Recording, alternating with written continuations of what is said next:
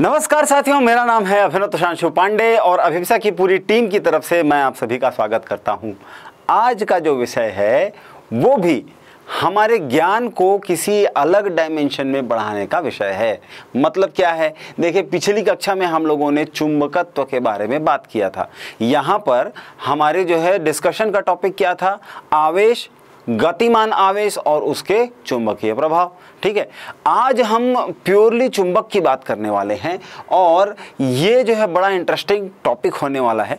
जैसा कि मैं हर बार आप लोगों से कहता हूँ कि पेन कॉपी निकाल लीजिए और लिखने के लिए तैयार हो जाइए, लेकिन आज का जो विषय है वो पेन कॉपी वाला नहीं है। तो आप बढ़िया आराम से बैठें और मेरी बातों को सुने।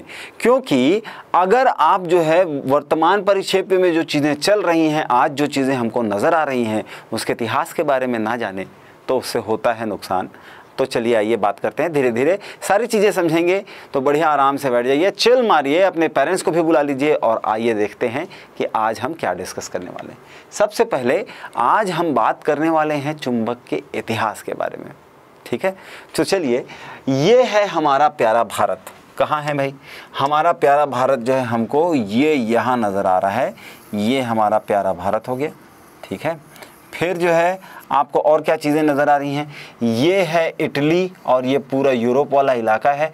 और भारत से अगर आप जो है समुद्री रास्ते से जाने की कोशिश करेंगे तो आपको ये अरब खाड़ी से जो है निकलते हुए जो है यहाँ पहुँचना पड़ेगा। और इस देश का नाम है ग्रीस। ग्रीस मतलब गाड़ियों में लगाने वाला नहीं। तो ये ग्रीस का मतलब क्या है? इसकी बात क्यों कर रहे हैं? ये वही ग्रीस है जहाँ से बहुत बड़े बड़े विद्वान निकले, पाइथागोरस निकले, अरिस्टोटल निकले, अरस्तो निकले, ठीक है, प्लेटो निकले। और ये सारे जो विद्वान जहाँ से निकले, वही की एक कहानी जो मैं आपको समझाने वाला हूँ, सुनाने वाला हूँ। तो ध्यान से सुनिए, इस, ये जो ये जो ग्रीस है, इस ग्रीस में ये एक जगह है और इस जगह का नाम है मैग्नीशिया। ठीक है? अब यहाँ जो है क्या स्पेशल हुआ? यहाँ एक बार की बात है कि एक चरवाहा था। अब ये चरवाहे लोग क्या करते हैं भाई? डंडा लेके चलते हैं, नहीं तो इनकी भेड़ें तो भाग जाएँगी। लेकिन वो डंडा जो है, उसके नीचे, सबसे नीचे वाले हिस्से में लोहा लगा रहता है ताकि जो है वो धीरे धीरे छोटा ना हो जाए घिस के ख़त्म ना हो जाए। तो ये डंडा लेकर जो है ये चरवाहा घूमा करता था और इस चरवाहे के साथ में एक दिन ऐसी एक ख़ास बात हुई कि इसका जो है डंडा वो उसके हाथ से छूटने के बाद में जाकर कहाँ चिपक गया? पत्थर से चिपक गया। और जब उसने जो है डंडे को खींचने का प्रयास किया तो इसे एक अजीब ढंग के बल की अनुभूति हुई। इसे ऐसा लगा जैसे इसे इसके पैर कोई पकड़ रहा है, इसके जूते में भी कीलें लगी हुई थी और उन कीलों को कोई खींच रहा है।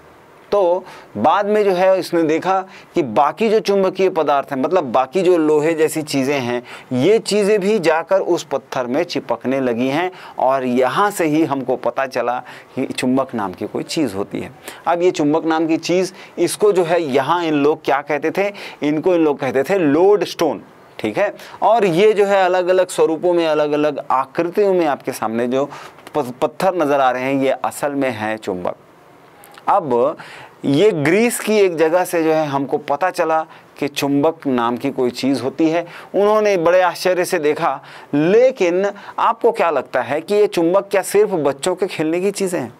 मतलब हमारे जीवन में इसका कोई उपयोग होना चाहिए। और यहाँ हम क्या देख रहे हैं? देखिए, पहले जो है जो नाविक होते थे वो अनपढ़ नहीं होते थे।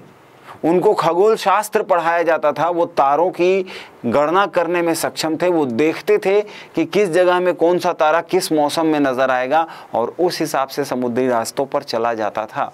इसका एक और उपाय था कि समुद्र के किनारे बड़े बड़े शहरों में लाइट मतलब लाइट टावर लगाए जाते थे, प्रकाश स्तंभ लगाए जाते थे, ताकि वहाँ पर से गुजरने वाले जहाज़ों को उस शहर के बारे में पता चल सके। लेकिन हमें आज पता है कि पृथ्वी के अंदर भी एक चुंबकीय गुण होता है और उस चुंबकीय गुण का उपयोग हम बाहर से एक चुंबक के द्वारा कर लेते हैं।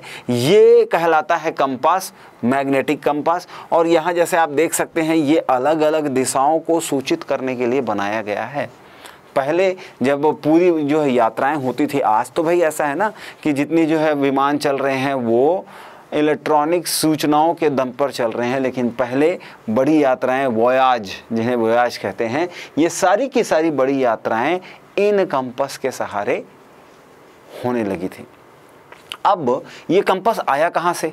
तो सबसे पहले सुंग साम्राज्य, जो कि चीन का एक साम्राज्य है, सुंग डायनेस्टी कहते हैं, उस समय की किताबों में ये उल्लेख मिलता है कि उनके पास में एक ऐसी मछली थी जो पानी से भरे कटोरे में डाल देने पर हमेशा दक्षिण की ओर अपना मुँह कर लेती थी। इसी तरीके से ये जो चम्मच जैसी आकृति आपको नज़र आ रही है, नीचे एक प्लेट रखी हुई है और इस चम्मच जैसी आकृति को घुमाकर छोड़ दिया जाता था और तब देखा जाता था कि ये एक निश्चित दिशा में ही जाकर रुकती है।